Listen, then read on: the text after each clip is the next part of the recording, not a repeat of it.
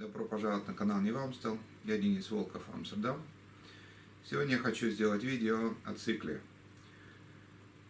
Скорее всего, вы подумаете, что речь пойдет о цикле, который мы все часто видим на каналах YouTube. Это вот такая цикли Стэнли, или такая, или другие формы цикли, или хотя бы такая цикли. Но об этих циклах я ничего делать, обзор не, делать не буду, потому что на них э, очень много видео на YouTube. Но я хочу сегодня поговорить и рассказать вам о цикле, который на YouTube практически ничего нет. А идет, идет речь вот именно о такой цикле. Очень маленькая, но очень эффективная. Она очень удобна в столярном деле. Хотя у нас в Голландии это цикле в основном можно увидеть у э, маляров, чтобы им, с, понятно, с, с, разогреть краску там, или лак, снять э, краску содрать ее, скажем, там, с дерева. Но э, тот метод, который я хочу вам сегодня по показать, предоставить, его э, не встретишь вот так в, в обыденной э, жизни. И я этому методу учил, научился у мастеров, которые занимаются ремонтами и реставрацией э, яхт. Да, в моем случае работал на мастера, который ремонтирует итальянские моторные катера именно вот именно такой циклей практически всю работу выполнял именно вот этой работы, вот этой цикле, потому что во многих местах э, машины шлифовальные или какие-то другие средства не подходят. Эта цикля в исполнении очень простая. Длина цикли 24 сантиметра, длина ручки 15 сантиметров, толщина лезвия 3 миллиметра и ширина каждой стороны 6 сантиметров. Среди циклей такого типа есть также цикли разных форм. Например, такие. Но я такими не пользуюсь. Очень важно, чтобы в цикле, который вы пользуетесь или покупаете, очень важно, чтобы она была из каленой стали. Тогда заусенцы, которыми осуществляется соскабливание – держится дольше при работе, потому что вы, скорее всего, будете сегодня заниматься каким-то мягким деревом, завтра будете дубом, и зубцы очень быстро начинают стачиваться.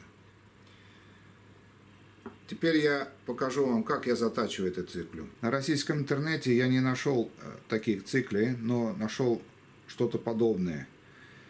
И это говорит о том, что лезвия можно изготавливать отдельно и насаживать их на, на ручку. На фотографии вы видите, как это было такое решение принято, вот там э, за счет квадратного отверстия и на, на насаживания лезвия на, на ручку. То есть это в принципе можно придумать, если же есть желание, то можно это придумать. Хотя у нас они в Голландии в магазине продаются по 4 евро, то есть они уже готовы, видите, уже такая уже заклепка, то есть она... Это цикля, как вы видите, вот она новенькая, то есть на ней еще никаких следов заточки не было, то есть она еще не пользовалась. У нее острые края. А вот эта цикля уже была в работе. И вы видите, уже здесь внутренняя часть, я так называю внутреннюю часть, она, скажем так, сточенная. То есть ну, она как бы во время работы насточит. Это связано с тем, что перед тем, как я затачиваю циклю, которая уже была в работе, перед тем я Перед этим я прохожу по шлифование э, по шкурке прохожу, чтобы снять все какие-то там мусор, какой-то налипший клей или там краска или что-то, что зависит, что я с, э, с чем я работал. То есть я сначала убираю весь этот мусор, который, потому что здесь должна быть чистая поверхность. То есть я при помощи шкурки снимаю это. Не обязательно много, главное просто, чтобы была гладкая поверхность. И иногда даже приходится снимать вот эти тоже, иногда снимать мусор, убирать весь этот мусор, но это все равно нужно. Это раз. Во-вторых, очень важно, ну, во всяком случае, я для себя так. При такой цикле, я, я видел э, на, интернете была цикля сделана в виде квадрата. Но квадрат, потом я вам покажу на, на действии, когда цикля, квадрат не дает той оптимальной работы, чем как треугольная форма. Когда я затачиваю, я с первым делом, что дел, э, первым делом я снимаю углы, то есть я закругляю углы. Потому что острые углы, они могут очень много напортить. Вы во время работы можете этим углом заглубиться и уйти глубоко в, в, в древесину и создать очень глубокую царапину, которую потом тяжело будет убрать. Поэтому углы я сразу закругляю, тем более, что при заточке эти углы все равно сгорают. Э, заточка идет, обычно у цикла идет 45 градусов заточка, но придерживать точной там 45 градусной заточки нет какого смысла, потому что работа этой циклей, ну, учитывая то, что зависит от того, какого материала вы работаете, может даже получиться, что вы через каждые 15 минут будете затачивать нов, по новой циклю. Это зависит от материала. Но, это, какой, зависит от того, какой материал вы э, работаете. Чтобы быстро и удобно научиться точить, затачивать и знать, как вы затачиваете, использую очень простой метод. Берем маркер и закрашиваем грани, которые я буду точить. Это связано с тем, что, во-первых, я при заточке я вижу, как у меня идет заточка, то есть какой угол я буду держать. И во-вторых, у меня также подскажется, когда я буду затачивать, какой я, какую грань заточил, а какую не заточил. Поэтому это очень удобно. Этот способ я научился у немцев. Когда на выставке покупал вот такое точило для заточки инструмента, абразив, э, алмазный абразив, там был тот же самый принцип. Для заточки стамески закрашивалось маркером закрашивалась э, плоскость, и когда при стачивании, ну это вставляется в дрель, и когда она крутится, при стачивании можно видеть, как ты точишь стамеску. То есть вот я таким абразивом сейчас все время, ну, периодически пользуюсь, когда мне нужно заточить стамески. Так что сейчас мы начинаем точить, то есть я сразу говорю, что сначала я стачиваю углы, то есть убираю эти острые углы, а потом начинаю затачивать. Заточка идет так, что вот одну руку, к примеру, вот правую руку, надо как-то взять, как вам удобно, так, чтобы держать. Этой рукой прижимаете и немножко сдвигаете, регулируете. Но когда вы, к примеру, когда вам нужно остудить циклю, потому что она будет нагреваться, сразу опускать воду, допустим, то эту руку, руку, которую вы держите циклю, она даже ее не, не, не передвигать в, в сторону, ну как вас, оставлять на одном месте. То есть это можно, а это, это вам позволит быстро находить этот угол одновременно, когда вы себе остудили, потом обратно вернулись, вы быстро найдете тот самый угол, который вам нужен. Потому что за счет этой руки, так как вы держите, это вы, так сказать, вернете быстро в то же положение, которое до этого было использовали. Для заточки не забываем использовать защитные очки, потому что летит очень мелкая пыль.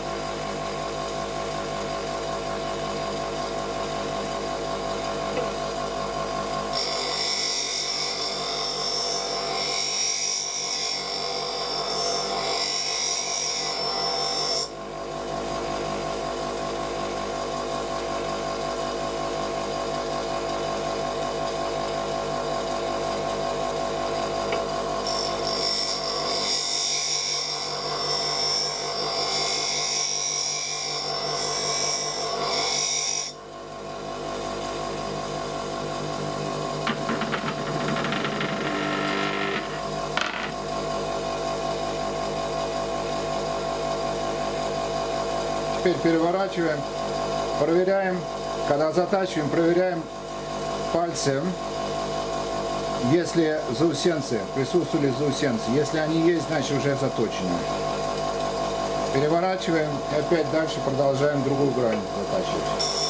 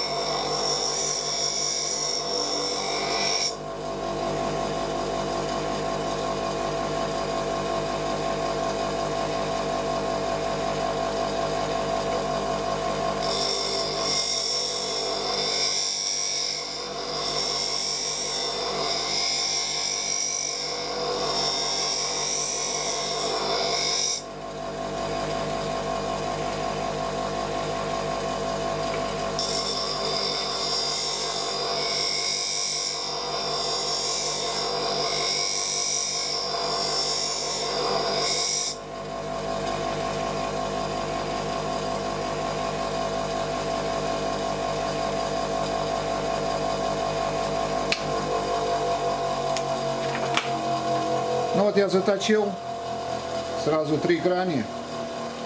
Это можно сразу проверить а пальцем, когда проводите пальцем, чувствуете заусенцы. То есть циклы заточены, готовы к употреблению. Хочу еще что сказать. Есть вот циклы, вот сейчас смотрю, вот циклы, это просто я купил в магазине, для строительном магазине. Это циклы для маляров. Это сразу видно, что не каленая сталь.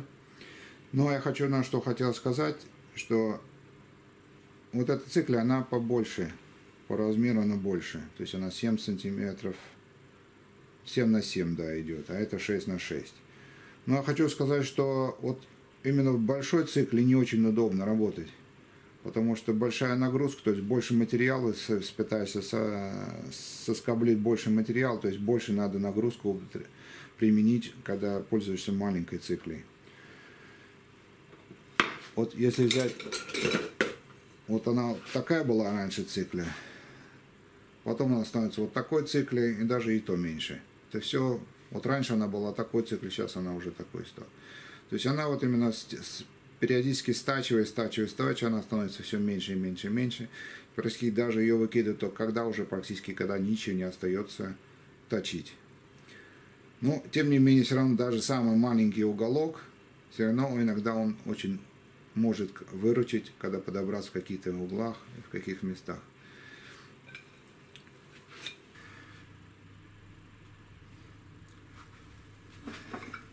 Ну вот мы наши циклы заточили. Что я хотел сразу обратить внимание, точение это процесс такой как бы, ну, на него надо настраиваться, надо все это нас, э, подготавливаться.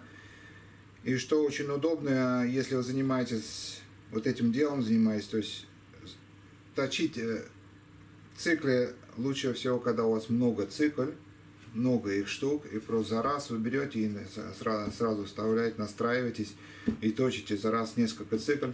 Это вам помогает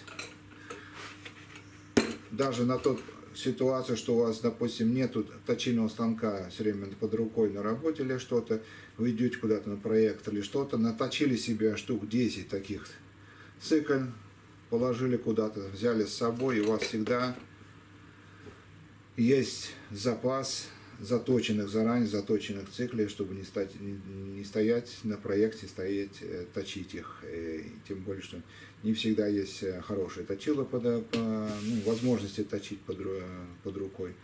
Такие возможности, поэтому удобно, когда всегда затачиваешь сразу несколько штук и потом уже берешь с собой на, ну, скажем, на проект.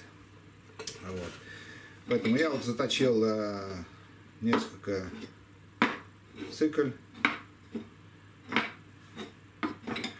покажу я вам пример на вот этой старой, старом щите, который давным-давно когда-то был покрашен лаком. И сейчас это будет просто на, на более, более хорошо будет видно на, этим, на этом примере, как работает цикля. Но для этого, чтобы, чтобы у меня это сам материал, он у меня не уходил, не уезжал, я его закрепляю струбцинами, чтобы он у меня кстати, хотел сказать, что иногда бывает удобно вот такую маркировку, вот это когда бывает, э, вот она здесь такой красной сделана, э, иногда даже удобно эту маркировку или обмотать изолентой, или как-то закрыть, потому что бывает, что когда работаешь, иногда ручка начинает ходить по материалу, и до такого доходит. И именно вот эта краска начинает просто оставлять эти красные полоски на, на, на, на материале. Ну, удобнее, конечно, просто закрыть. Или просто даже можно мотать ручку, скажем, каким э, малярным скотчем, потому что ну, легче, удобнее держаться в руке. Ну, вот. Принцип заключается очень простой. Принцип работы этой цикла очень простой.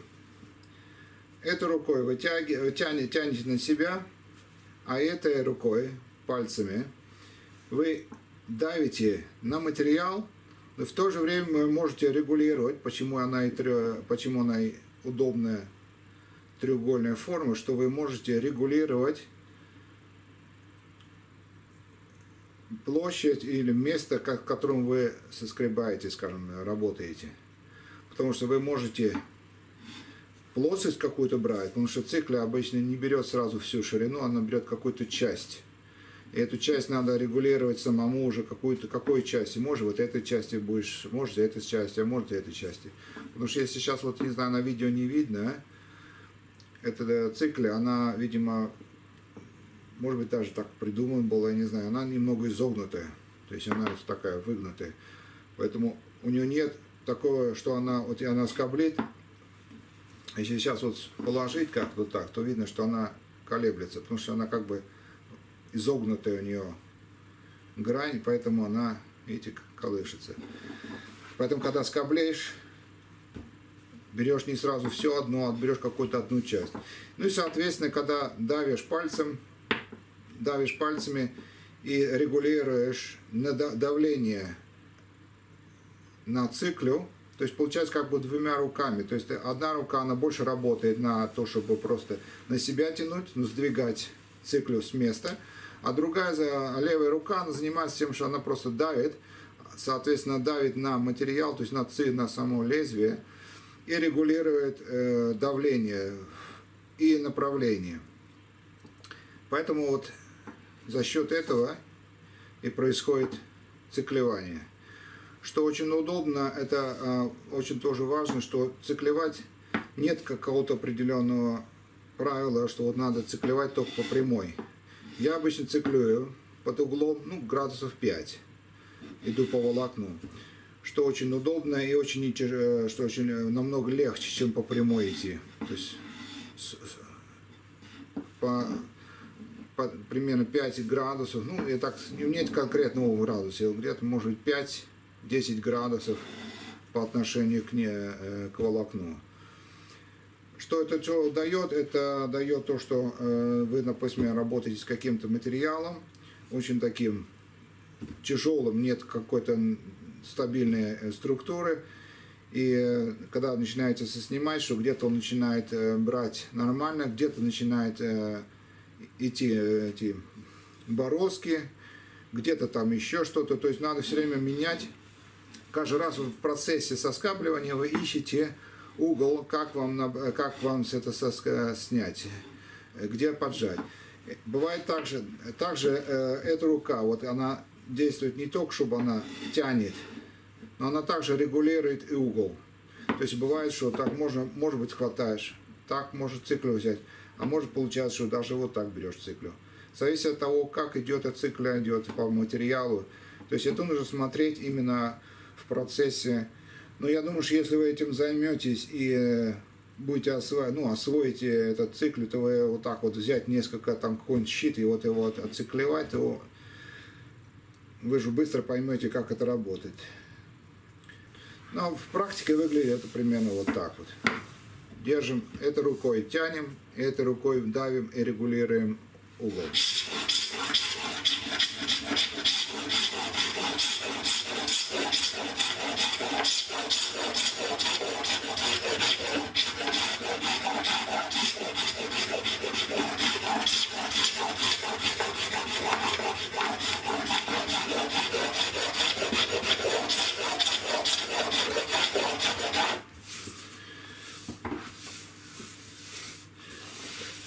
Циклю использую, когда, допустим, я клею э, широкие щиты или какие-то вот широкие щиты, вот у них большая неровность находится. Что может цикле делать? Цикле может это делать, эти неровности быстро убрать, намного даже быстрее, чем шлифовальная машина. Что вам нужно будет, это просто вам нужно будет циклевать под, ну не знаю, под каким там, под 45 или под 35 градусов. То есть можете вот таким образом. То есть, если, опять же, у вас цикля, она идет не по прямой именно, а немножко с, под углом. То есть она как бы немножко идет опять же, то есть она не срезает не по прямой, а немножко под углом срезает. Именно ей намного легче идти.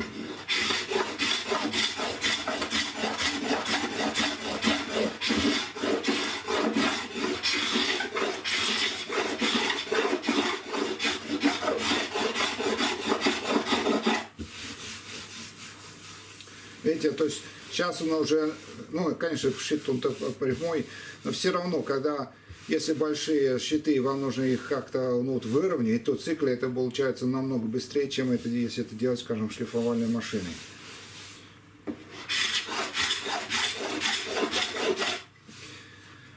Как я уже говорил, что вот именно регулируя вот эти углы, вы можете подбираться и, например, снимать только один какой-то уголок. То есть я направляю угол так, на, на, на давление на какой только на уголок. То есть я могу работать только именно с одним уголком. То есть мне не надо уже всю, всю плоскость использовать. И вот так вот можно... Значит, очень важно э, понимать, что когда если вы работаете циклой, если вы это долго работаете, и вы замечаете, что вы начинаете циклевать, но начинают руки уставать, значит цикле уже затупилась.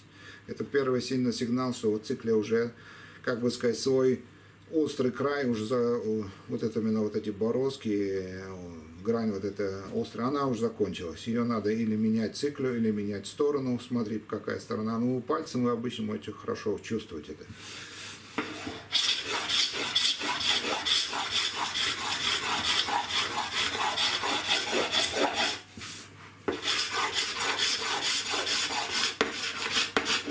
Ну вот другое применение цикли. К примеру, я склеиваю щиты, и мне надо их немного выровнять. Или, скажем, э, после склеивания щитов остаются следы от клея. Ну, а как правило, когда я клею щиты, стараюсь клей снять, э, снимать клей, когда он наполовину сухой, и не ждать, когда он полностью высохнет и э, там прозрачный становится, высохнет, его намного сложнее снимать. Он будет вырывать, эм, иногда волокна вырывать, но обычно, если так и все равно получается, все равно цикля в этом отношении очень быстрый и дешевый метод, кстати говоря, хотел сказать, что он очень дешевый, по сути. Он даже эти быстрее и дешевле обходится, чем, скажем, шлифовальная машинка или там шкурка или что-то еще. Главное просто, если надо понять смысл, навык, взять навык, то можно э, этой цикле можно очень много. Я работал в своей работе, цикле у меня постоянно находится в моих инструментах, то есть я без нее уже ну, не обхожусь практически. Уже лет 15. Вот я скажу, к примеру, у меня склеен щит, но он, правда, сейчас у меня убраны все э, эти клей весь он убран. Это я делаю для того, что, что сейчас, скажем, потом мне этот нужно будет шлифовать. Если этот клей я не уберу, больше толстый слой клей не уберу, то он у меня будет потом налипать на, на шкурку, на барабан или что-то еще. Он все время будет мне мешать, поэтому мне проще быстрее снять циклей, чем это потом все это снимать, э, весь этот наплывший, наклеившийся клей на э, шкурку. Очень также удобно, когда если будете заниматься, именно вот если будете осваивать этот цикл, очень удобно учи, э, на, учиться работать в цикле не только вот так вот правой рукой тянуть, а также наоборот. Потому что иногда бывают моменты, когда вам не подлезть. С этой стороны вам надо, с этой стороны надо делать. По сути, если вот именно технику такую понять, технику и именно давление регулировки и, э, ну скажем так, на себя тянете и регулируете, то в принципе это можно, ну как я раньше делал, большие, большие яхты, э, целый день скоблишь и не устаешь. То есть по сути, если те э, циклы хорошо заточены, освоили эту технику, то она не доста- не доставляет большого физического труда, чтобы соскабливать и снимать э, вот именно какие-то там вот э, ну, на- снимать нужный материал, то что. Вот. Ну вот, к примеру, я этот щит, как бы он у меня чистый, брал. А теперь берем щит с другой стороны. Это после склейки щита остались следы газеты. О том, как я щиты клею, я потом в другом видео вам расскажу. Но вот то, что у меня обычно получается, ка- после того, как щит уже склеен, высох, то мне надо содрать вот, это, вот эту газету, которая осталась. И вот именно циклей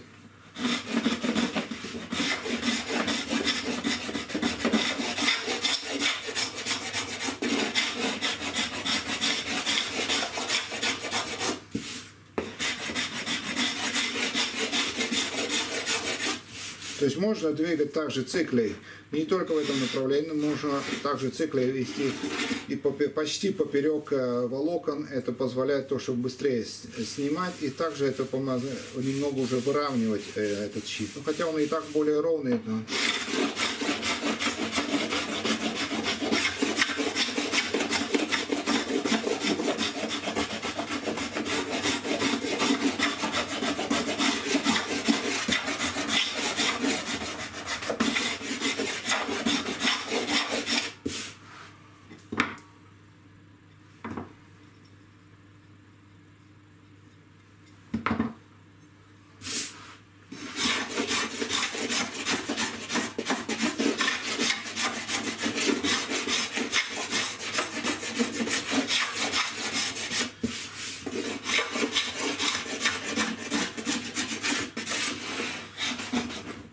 я отциклевал вот эту панель, щит, она практически даже ровный. Теперь еще остается шлифануть, и она уже готова для дальнейшего применения.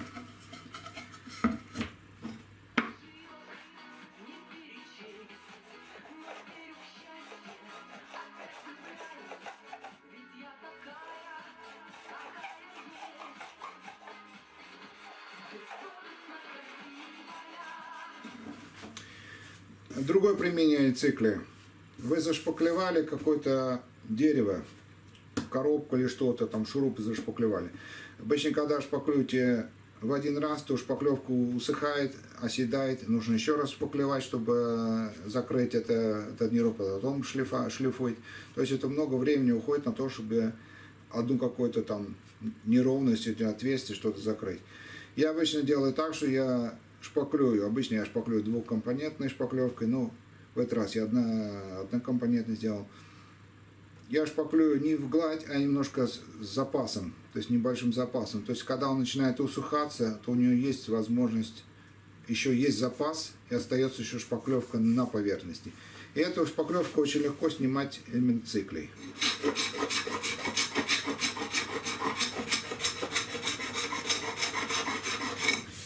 Вот и все.